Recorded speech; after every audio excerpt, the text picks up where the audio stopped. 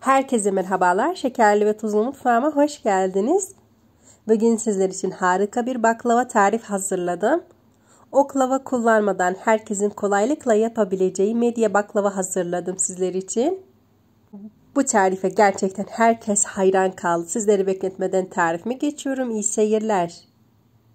Öncelikle tabağımın içerisine bir çay bardağı yoğurt alıyorum. Bir çay bardağı sıvı yağ, 1 adet yumurta, 1 yemek kaşığı üzüm sirkesi, dilerseniz elma sirkesi de kullanabilirsiniz. Öncelikle sıvı malzemelerimi güzel bir şekilde karıştırdıktan sonra hemen unumu ilave ediyorum. Unumun yarısını ilave ettikten sonra hemen yarım paket kabartma tozu ve bir tutam tuz ilave ediyorum. Ve spatulamla güzel bir şekilde karıştırıyorum. Bu arada şunu belirtmek istiyorum. Ee, özellikle un, e, baklavalık un kullandım. Lütfen normal un kullanmayın. Aksi takdirde e, son aşamada yırtılma olabilir. Özellikle bir marka vermek istemedim. Eğer dilerseniz açıklama kısımlarında bana sorabilirsiniz. Sizler için paylaşırım. Unumu azar azar ilave ettim. Toplamda 2,5 e, artı 2 yemek kaşığı un kullandım ben. Sizlerde bu miktar mutlaka değişiklik gösterir. Onun için mutlaka azar azar kullanmanızı tavsiye ediyorum.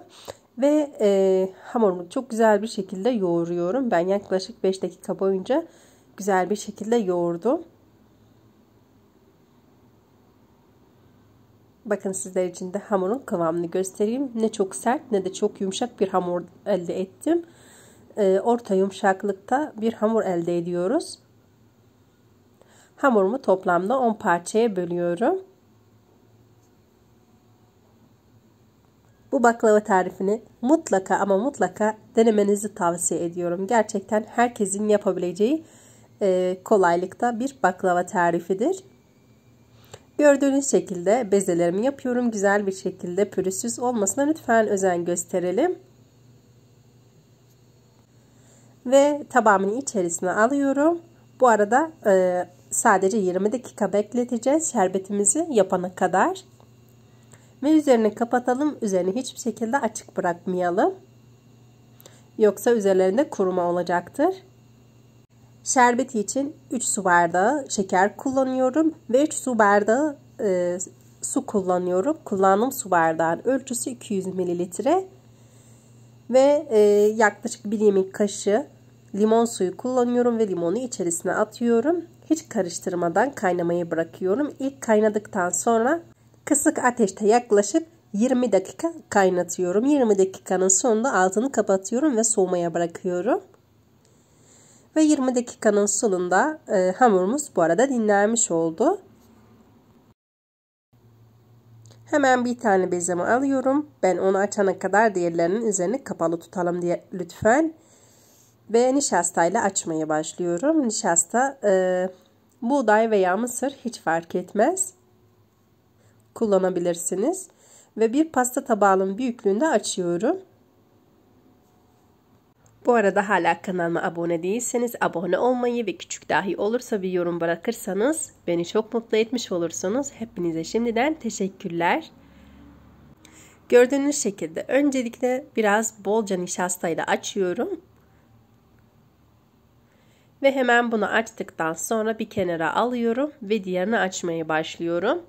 Bütün bezelerimi aynı bu işleme e, bu işlemlerden geçireceğim. Hemen sizlere bir tane daha göstermek istiyorum. Bu arada eğer aklınıza soru işareti takıldıysa e, yorum kısımlarına bırakabilirsiniz. Gördüğüm anda inşallah cevap vereceğim. Kullandığınız malzemelerin hepsi oda sıcaklığında olursa çok daha iyi bir sonuç elde ederiz. Buna da özen gösterelim lütfen. Ee, hazır aklıma gelmişken sizlerle paylaşmak istedim. Bütün bezelerimi açtıktan sonra aralarına yaklaşık e, yarım yemek kaşığı nişasta ekliyorum. Ve üst üste gelecek şekilde e, yapıyorum. Dilerseniz bu aşamayı her bezeyi açtıktan sonra hemen üst üste e, yapabilirsiniz. Ben sizlere göstermek için e, normal yaptım böyle bu şekilde. Ama sizler hiç beklemeden her bezi açtıktan sonra bu işlemi yapabilirsiniz. Hepsine aynı işlemi yaptıktan sonra sadece son kata e, nişasta eklemiyoruz. Lütfen e, buna dikkat edelim. Şimdi hemen e, kenara alıyorum ve tezgahımın üzerine güzel bir şekilde temizliyorum. Ve hemen e, bir yemek kaşığı nişasta ekliyorum tezgahımın üzerine ve baklavamızı açmaya başlıyorum.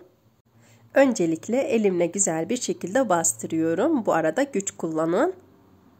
Güçlü bir şekilde bastırın. Sonrasında hemen bir merdane yardımıyla e, çok e, dikkatli olacak şekilde açmaya başlıyorum. Sizler de görüyorsunuz üzeri e, kalkıyor. Hemen elimle bastırıyorum ve ters çeviriyorum. Arada sırada ters çevirebilirsiniz. Ve hemen baklavamı açmaya başlıyorum.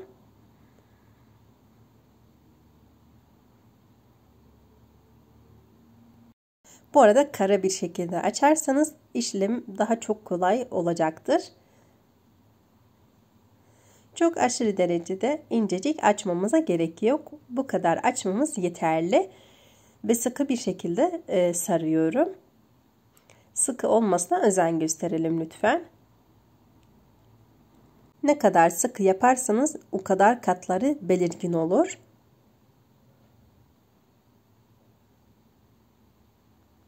Bu baklava tarifini mutlaka bayrama deneyin.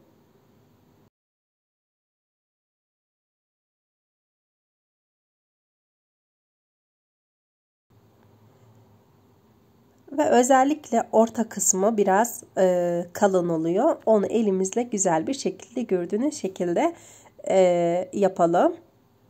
Ki e, hepsi eşit bir şekilde olsun.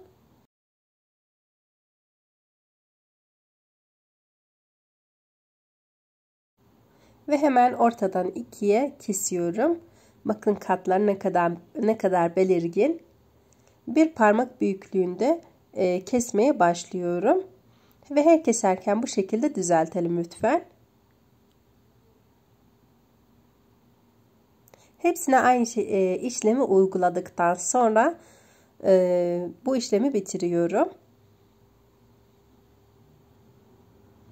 Ve hemen son aşamaya geliyoruz.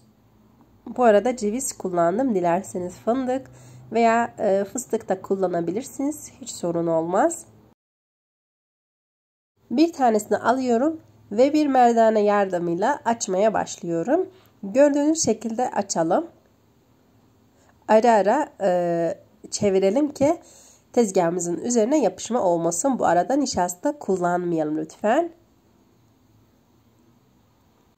Ve özellikle uç kısmını elimizle sürekli yapıştıralım. Ve gördüğünüz şekilde hazır. Ne kadar güzel görünüyor. İçerisine ceviz ekleyelim. Ve kapatalım. Çok sıkı bir şekilde kapatmamıza gerek yok. Normal bir şekilde hafifçe bastırmamız yeterli. Medya baklavamız hazır. Ve sizler için hemen bir tane daha göstermek istiyorum. Bakın ara ara çevirerek açıyorum.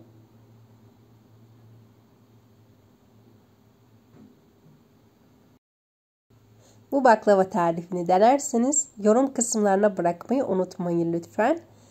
Gerçekten e, fikirleriniz benim için çok önemlidir.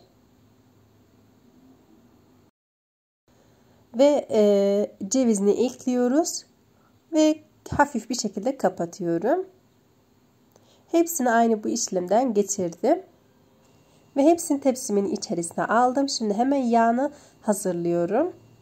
50 gram kadar tereyağı, üzerine e, çeyrek bardak sıvı yağ ilavesi yaptım.